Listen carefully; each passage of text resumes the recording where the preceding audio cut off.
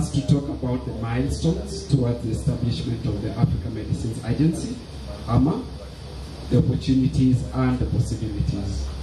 But as um, I didn't get to know you now, Sorry? Anushri, yes, has said um, there are few functions that I'm currently responsible for. Um, I support the work on regulatory harmonization um, across Africa as the Africa Regional Lead. I work very closely with the African Union Development Agency. I work closely with the African Union Commission and Africa CDC on uh, different aspects of work, including on local manufacturing. And when I say local, does not mean Kenya alone. It means the continent. We use local to mean the continent space. Um, in addition to supporting Kenya on the local manufacturing as a member of the local manufacturing task force.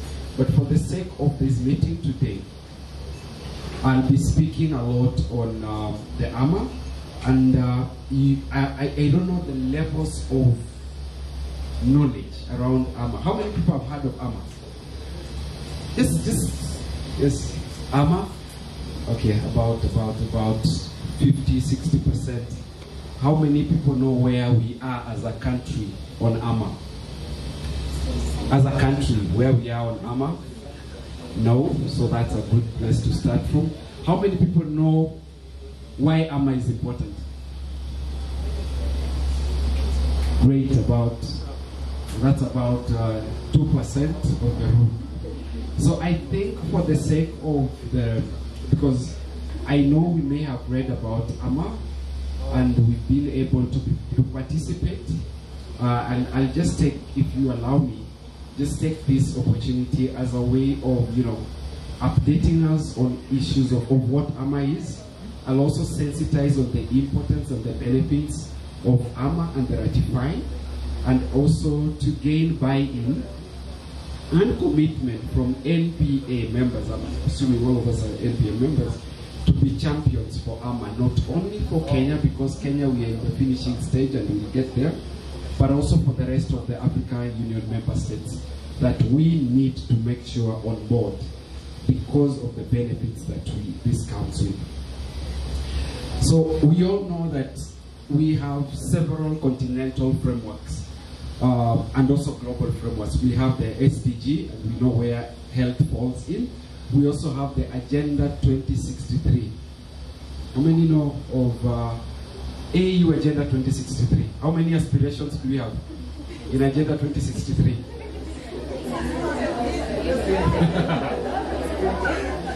yes. So we have our blueprint in the continent, which is the AU, we call it the AU Agenda 2063. It has seven aspirations and 20 goals. The third goal is on health, and it is generally healthy and well-nourished citizens. But again, there's goal one around high standard of living, quality of life, and well-being for all citizens. So AMA comes in within there. So in in broad, if you look at the continental uh, uh, space, our blueprint is Agenda 2063, and we also have um, uh, the SDGs. And we know the place where we come from. Our health system's resilience and security is wanting within the continent, and COVID showed it. I think you also remember when uh, Ebola struck, we were running all over to set in isolation bed somewhere in, in KNH. And we know how the health security work. I also advise the AU COVID uh, the AU champion Ramaphosa on PPI work. So generally the issues of health security is an important aspect. And health security is not just about looking at very specific and small things. It's also about the availability of those products where they're needed in the shape and feel that they are required by those who need them most at the time they need them. So health security is a key agenda for us, and AMA is at the center and will really contribute towards the health security for this continent. So where are we coming from AMA? Why AMA? Why is AMA important? The issues of AMA is really key for us at the continental level because of uh, the need to avoid the differences within the continent, the way we do business because it's costing money. I've spoken to a few individuals who are in the industry, the manufacturing space, and you know what that means for you when a day ends without you getting an approval, when a year ends without getting that approval, when five years ends without getting that approval, when WHO PQ process takes five years before you get that report. It means it has a direct cost implication. And where do you take that cost when you finally get it? Patient.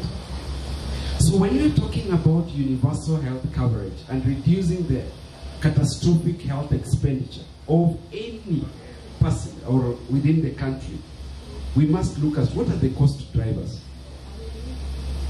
At some point, uh, there was a conversation, I think in 2021, that oh, doctor's fee is so high. Doctor's fee is not high. It is the cost of medicine.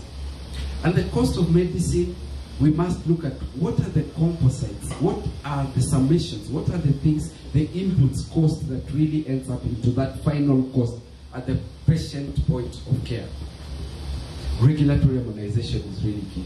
So as the continent is driving towards universal health coverage, regulatory harmonization is at the center of all this, and AMA comes in there. And it's going to help us harmonize a lot of things as we will see. I wish you could be able to see the slides, but it's okay. So we want to move from a place where we have 55 member states doing different things. How many members? How many countries do you have in Africa? I've said 55. I they 55? You're sure they're 55, maybe? Authoritatively. Somebody says 54. Yeah? There is one country that is neither here or there. So we talk about 55, but because we know that it's going to be recognized as a full-fledged um, uh, uh, uh, member state, but we're talking about 55. But in several documents you see 54. So we want to move from where we have 55 member states doing their small things around regulatory harmonization, around regulation of medical products, to a point where we have five regions. We have five RECs, what we are calling the regional economics blocks. And then we'll also have one body, which is AMA. But we are not taking away the functions of the national regulatory uh, authorities, what we are calling the NRAs. And I'll get to that point. So we, the most important thing is how then do we harmonize the way we do things, our documents, our evaluation um, uh, uh, documents uh, should be standard, and then we drive towards regulatory reliance to the point that we have regulatory convergence. That is where we are going to as a continent. So technically, AMA, we, we already have the five RECs. They are functioning. Some of you have interacted with the East Africa Medical Regulatory Harmonization. Some of you have uh, interacted with WAHO. Some of you have uh, interacted with Zazibona, depending on where you, you want uh, to register your products. We have a number of functions of AMA. And I have two, in fact, three slides of the functions of AMA, but I'll share uh, these with David. But I really want to speak to a few. One, AMA is going to, before I get to AMA, let me just speak to what AMA is about, what AMA is. So the African Medicines Agency is uh, an agency of the African Union. So it means heads of state approved that yes, this is something important for this continent, and they understood why. But for it to come into force, at least 15 member states had to ratify. On the 5th of October, the 5th of October 2021, we had the 15th country depositing the instruments of ratification to the African Union Commission. And therefore, the, by 30 days after that, which was the 5th of November, AMA came into force, 2021. So what does that mean? There are several processes that have to be taken because AMA is a treaty in itself.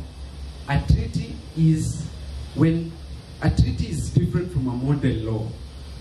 Model law, like um, we have the African Union Model Law on Medical Products Regulation, which I would speak to on another day. You know, some of you have heard of KFDA, KDA. Uh, yes. and uh, some of you wanted to crucify somebody somewhere. Yes, but I'll speak to that on another day. So, but that is also part of the AU model law on medical products regulation. But that's a model law. Treaties become part and parcel of a law of the country. So the moment we ratify it, it becomes part and parcel of our legislation and rule of law within the within the country. And that's why it has to go through the full process of legislation. So member states, member countries have to ratify, but again, we must, we recognize that different member states have different ways of ratifying. That there are countries that went straight from a presidential declaration to signing. I think one or two countries. The rest has to go through uh, their parliamentary processes. So being that AMA came into force on the 5th of November 2021, the implementation is currently happening. And there are two streams of implementation that is happening. We have the operational side and we have the technical side. The operational side is being led by the African Union Commission, setting up um, um, uh, the board, making sure we have the, the board that will then bring in a director general.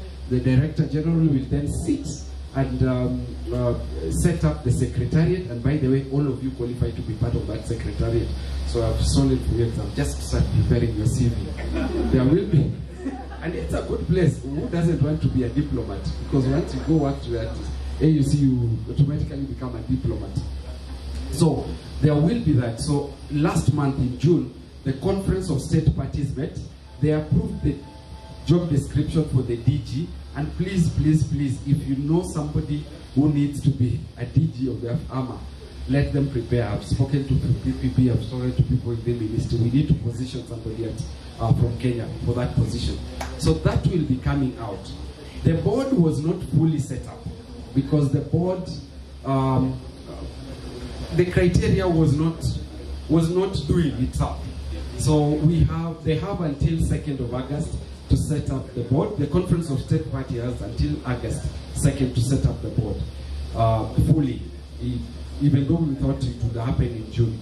So after that, so that is the operational side. The technical side, a lot is happening, and the technical side is being led by the African Union Development Agency, currently being spearheaded by the Africa Medicines Regulatory Harmonization Initiative. And within it, there are several technical committees. I sit in one called the Medicines Policy and Regulatory Harmonization. Medicines Policy and Regulatory Reforms TC, Technical Committee. And there's also the other one, uh, Africa Medicines Diagnostics Forum, which is led by one of our very own, uh, Pauline Wairimu, uh, from the Pharmacy and Poisons Board. So we have about nine technical committees. Uh, one on blood and blood products, is one on uh, surveillance, um, and several others. So we have, so generally what I was trying to drive to is AMA is currently starting to be operationalized in different ways and they are being driven um, uh, parallel to each other. So the treaty having been established by the uh, heads of state, that was in 2019, and so far we have 23 countries that are fully ratified. And what does full ratification mean? Full ratification means the country has gone through its process and they've deposit their instruments of ratification to the African Union Commission. This morning, I'm saying 23 because I've not confirmed. I was I just received news from the AUC that DRC and Cape Verde submitted their instruments. I've not seen it because I've, I've, not gone. So I said 23 because I don't want to be quoted. I said 25 when they're still 23. So just know that they're 23 plus 2. I have it's written plus 2 in red. So we could be at 25 full member states that have fully ratified the African Medicines Agency, and we are gearing towards um, um, uh, the 55 of, of them. I'm doing a lot of work in Kenya, South Africa, and now I'll be doing some push in Tanzania and uh, Nigeria. Um, what would be the value proposition? Over the next few years, Africa is opening up to the pharmaceutical industry. In 2021, 2021, 2022, I think for those who likes watching and knowing what's happening there, current affairs, you realized we had Africa US Summit. No, they start with US Africa Summit. I don't know why. Then there was the Russia Africa Summit. There was the uh, China Africa Summit. Then there was the UK. I think there was also UK Africa Summit. Why is everybody doing looking forward to summits with Africa? And right now, as we speak, there are a lot of the big pharma looking forward to setting up in the continent. It's because the next biggest market is in Africa. And countries like Kenya and need to be are still because we we still lead within East Africa, you know, as the biggest pharmaceutical industry. From a dollar point of view, and even industry, we have a number of industries here.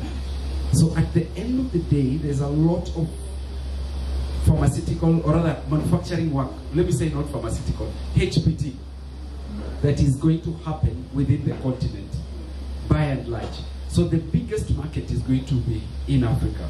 So what does that do? It opens up the R&D space. It opens up the manufacturing, but we must also prepare the skill set, the capacities, as well as the consumers. And in those three places where we need to prepare, there's a huge gap, a huge one. And that's why such things that, uh, such as this that APN is doing is great. So being that we are opening up the market for pharmaceutical, we must make the industry, the ecosystem nimble enough to allow products that are safe, effective, and efficacious get into the market faster because we know what that means. We know that the longer it takes, the more it will cost at the pocket. We cannot get to the point of UHC if that doesn't happen. We also know that if we are to be competitive within the continent, at the moment, yes, we are looking forward to procuring, and there's some work I'm doing with Africa CDC. We just launched during the World Health Assembly what we are calling the Harmonized Africa Health Manufacturing Platform. One of the core things that the manufacturing platform would do is to strengthen the pooled procurement and other pooled procurement mechanisms in Africa. But we all know that if we are to procure from the local, and this is for the local industry, for the local, and I was telling somebody, we are also trying to redefine what does local mean. If we are to do this as a continent, there are things that we must put in place. We must look at can we take up the liability of that extra dollar, shilling, kwacha that is going to be on that price of paracetamol that we are going to buy from Universal as opposed to importing it from India. And what does that mean? So we are looking at the economies of scale and making sure that one, we are more coordinated within the continent. Because if Kenya is producing uh, my good friends from Biovax, they are wanted, they, want, they, want, they started with uh, COVID-19. Uganda wanted to do mRNA. Rwanda was going to do mRNA vaccine. Who, is, who was going to be the, where is the market? So we need to look and coordinate ourselves within the continent and strengthen what, because we have all these diseases, including neglected tropical diseases, and the market does not need to be within the country. The least we can look at as a pharmaceutical setup of industry is the region. So when, when I say region, it's now East Africa, if we are within. If it is within West Africa, it should be the ECOWAS. Those should be the least. So when we are looking at the industries that are operating within this region, we I do not need to produce something that is already being produced in. Or if we are producing that, then we must look at how are we uh, leveraging on the other regions so that we open up the market for the 1.2, oh no, 1.3, 1.4 billion citizens within the continent. So technically, that those are some of the things we are doing. Because when we do that, then one, we are going to be able to, within a very short time, of course, take the liability of the extra costs of the product, but within a very short time, we will be reducing that cost within the continent because we are now getting more volumes and our governments are procuring from us. So the biggest procurer of any medical product is government. And we know that if governments are not going to procure from the local industry, then we are, we are lost. So the other thing that we are trying to do, sorry, I'm going up back and forth, is to really influence the policy environment for procurement. So what does our um, Public Procurement and Disposal Act say? I think you guys must have seen the BioVac situation. How many followed the BioVac issue in South Africa about uh, two months ago? No? Pardon? You did. So let me just tell you what happened. South Africa owns 47.5% of shares in BioVac. Not BioVax. We have our BioVax here. That is BioVac in South Africa. And uh, they were they wanted to procure PCV vaccines. And they could not because the law is only pegged on the tendering process and they could only procure the lowest cost. Right? So what does that do? It locks local manufacturing. It locks governments from procuring from a local manufacturer to which they own 47.5% of the shares. That was a good case scenario for us. And on my advisory to the president, on behalf of South Africa, but also for the continent, we put in certain measures. And if you're following, you realize the Public Procurement and Disposal Act of South Africa is currently in debate in Parliament because they are going to change something. Kenya, we are also facing a similar issue. So we are also looking at how then do we make sure that our governments procure from within the continent first. Of course, they will first procure within from the country, then the region, and then the continent. When they're, they're looking out, before now they go outside the continent. But still, as long as we can procure more from within, then that's great. So that is one of the reasons as to why AMA is needed because the longer we take, the more costly it will be, and it will be so difficult to defend such a huge variance. So with AMA, we are looking at strengthening the local industry. Sorry, I need to move faster. AMA will also enhance the realization of, uh, and I had uh, uh, David mention this, the pharmaceutical manufacturing plan for Africa. I don't know how many people have heard of PMPA. We are all in the industry. PMPA, how many? Please, if you are a pharmacist and you're in this industry, there are certain things that you not pursue. there is no way you can, let me use a Christian or whatever. You, this is you can say you're a Christian when you don't even know that a Bible exists, right? At least the best you can tell, you can, is just to know that a Bible exists, right? So please, there are certain things that are like the Bible for you. They are. And you write, just even if you don't know the intrigues, the things with it, just, just know that there's something called PMPA, Pharmaceutical Manufacturing Plan for Africa, and what it, it entails. So it's going to really help us get there. So I was getting to the point where I was saying there are certain functions of AMA. So AMA would promote cooperation, partnership, and recognition of regulatory decisions in support of regional structures and NMRH. Regional structures are like the AMAWAC, there'll be the RECs, and now the NMRS, National Medicines Regulatory Authorities, or NRS, which is the National Regu Regulatory Authorities. It will also provide guidance on regulation of traditional medicine. I have to put that there because I know many people have been asking where is the place for traditional medicine. It's a big conversation at the continent level, at country level. We have a, a division of traditional medicine, which is being led by uh, Pauline Duya at the Ministry of Health. We also have somebody at Cambridge who deals with traditional medicine. We have people at uh, African CDC who will be dealing with traditional medicine, but we do not have really mechanisms to regulate traditional medicine because of the, the variance of toxicities and just how to regulate it. So we need to strengthen there. The truth is, traditional medicines work. They work. I'm not a herbalist, but yes, they work. they work. And we just need to harness the active ingredients in them and make them and package them better. So it is going to really help us strengthen. And we are Africans.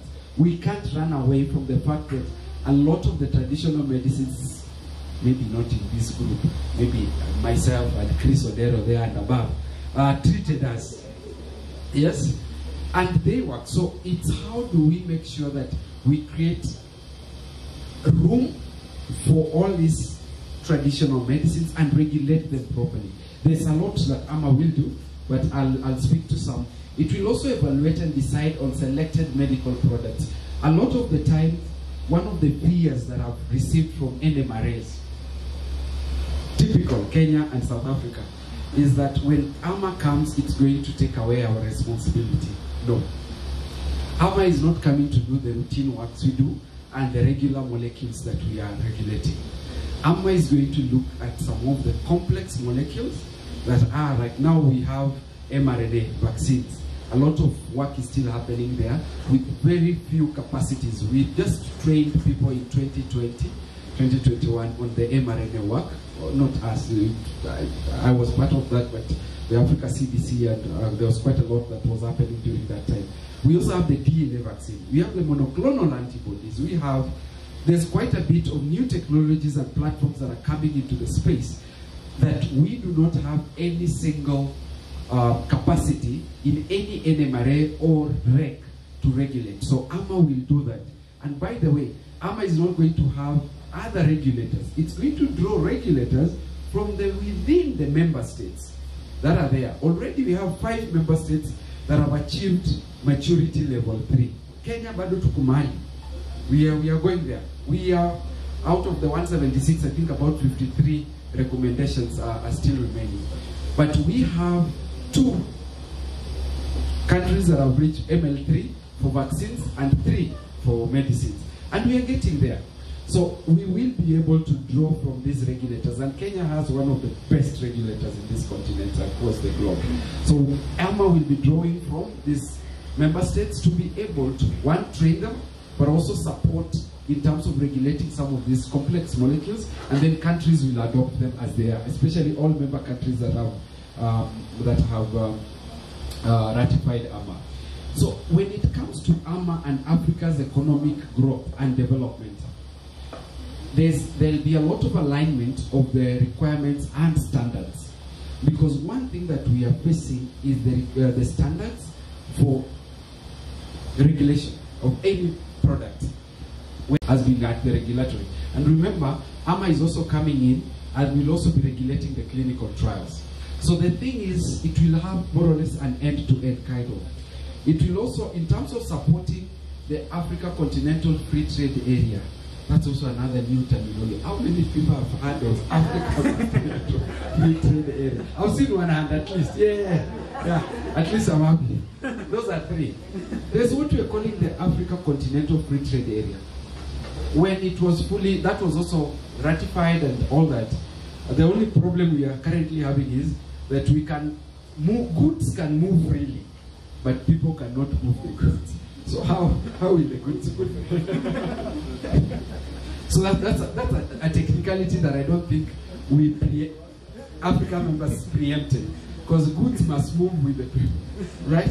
So th- th- there's that. It's being sorted out anyway. But when we are talking about free movement of goods and services, pharmaceuticals is also at the center, right? Because we need we need to produce something in Nairobi at nine, and by four it should be in Senegal, in Tunisia or somewhere by 4 p.m. So technically looking at how will goods move. So we are also aligning to the Africa Continental Free Trade. It will catalyze trade in support of the Africa Continental Free Trade Area, depending the Africa integration and enabling the development of markets for health commodities. Generally, the health market, as I said initially, we must consume what we are producing, and we must be part of the clinical trials of what we want to produce. And um, the other thing is, it will also take on existing initiatives, such as uh, we, we have the AMRH, the. Ava- How many people have heard of the Africa vaccine, the AVAREF? Now I've forgotten Africa. Yes, yes, because of COVID 19, right? So AVAREF is one of the TCs, the technical committees under the Africa Medicines um, Regulatory Harmonization Initiative. That is one of the nine that I mentioned earlier. So we, it is also supporting that. And then it will also support the coordination and advocacy by, you know, coordination of ongoing regulatory system strengthening and harmonizing efforts of the African Union Commission, the RECs, um, and also, you know, advocate for domestication of the AU model law medical products regulation. Anytime I mention AU model law within this space, I am afraid any bottle can come my way anytime. So I'm, I'm very keen. But AU model law, because when we are talking about the AU model, and allow me just use this opportunity because there's a lot of misconception around the KFDA. Had a meeting the other day with the PSK team. There's a lot of misconception on the. Uh, we've removed F, so it's KDA, but I, I still don't agree with the name. It should be the Medicines and Medical Products Bill. I know it will come through that name by the 10 minutes. So let me call it the KDA now because that's what we have. That KDA is a good instrument, but if one day you'll allow, I'll speak on why KDA is really important because KDA is aligning to some of the things I've mentioned on harmonization. It will also push us towards maturity level. One of the reasons why Kenya could not attain maturity level three is because we are not, we do not have an autonomous authority in itself, and therefore we need to move there. And if we do not do that, the products that PPB is regulating cannot be used, can only be used within these peripheries of this continent, of this country. When we reach maturity level three, when PPB that will be now the authority regulates, we will produce something at seven, and by seven it will be somewhere in Europe.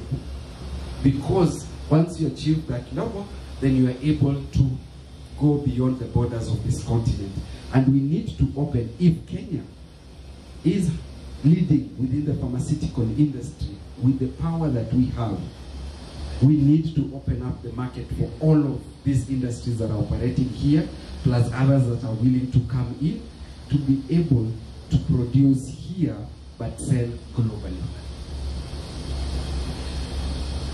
There are structures of the Africa Medicines Agency. I just talked about the Conference of State Parties. So that is going to be the highest policy organ. So the Conference of State Parties will be consisting of the ministers of health. On behalf of the president, there will also be the nine-member governing board. That nine-member governing board, hapo ndio kulikuwa in June. Um, in terms of already the way it was set up, the regs were to appoint one of the countries that have already ratified AMA to sit in the board. Kenya, our Kenya representative was there, could not even say a word because Kenya has not fully ratified AMA. But we are there. We are soon getting there. But that is why we are going to miss it. Even when the, the DG position comes, we might lose it because Kenya has not fully ratified that. Of course, we've ratified, I will tell you, we've ratified it in Parliament already. But until we submit, we are not considered to have fully ratified. So, and then we, there'll be the technical committees, and then we'll have the secretariat. And that's where I said you can sit. I mean, you can be anywhere, of course, except the members, the board. Because the boards, the people who sit in the board are the heads of the NRAs, like the Pharmacy and Poisons Board. They are the ones who then sit in the board over a period of about, I think it's about three years, uh, that rotates. I should be finalizing. Yeah? Yes. So uh, there's a lot of value addition for AMA, which I'll skip for now. But AMA is not, will not. Um, AMA will be a platform for NRAs and RECs. It will complement the NRAs and RECs effort. It will be an advisory institution, and it will rely on other regulatory authorities. The issue of regular, regulatory reliance. But it will not be a standalone institution functioning independently. It will not replace the functions of the NMRS and RECs. It will not be a binding institution with power to enforce decisions. Remember, AMA can make the decisions, but countries can still have uh, customize some of the decisions to fit their context, and it will not duplicate the already performed uh, work. So where are we in Kenya? Allow me go through this pretty fast. One, in 2021, the Ministry of Health, through the Pharmacy and Poisons Board, um, uh, uh, started the process of AMA, uh, developing the AMA documents. I was glad to be part of that team that developed those documents and prepared it for the CS. In 2022, it was approved by Cabinet and then it moved to Parliament. In 2023, we've seen a lot. Um, we've seen the signing. There are two things around AMA. There are countries that have signed, there are countries that have ratified. There's a difference. Now I don't have the time to explain. I'm seeing, I'm being looked at with uh, four eyes that are not really good. Um, so we signed AMA in February of 2023, which was a good show. But uh, and then there was a call for participation that happened again in February, and we did it with Parliament. Uh, um, there was a meeting. I've seen the nice photo I had here um, at Crowne Plaza or Manikyo. They're called Makiwa Makiwa Hotel, and then um, it moved to Parliament. It was ratified in Parliament in April. So Kenya, we've already approved it. Yesterday and even today, I spoke to the ambassador uh, Waweru uh, on its ratification because from April to now, it's not been deposited to AUC. But Waweru ambassador promised that it, they are really working hard. You know that right now we have the midterm uh, summit, right, in Nairobi, with everybody streaming in. So again, his office is quite bogged in there, but he's promised that at least before the end of this month, Kenya will have deposited and really pushing hard. My greatest call for you, I know you want to build the country, but also have networks across the continent. Let's convince advocate for all member states, for those who've signed, those who've not yet signed or ratified, to fully ratify.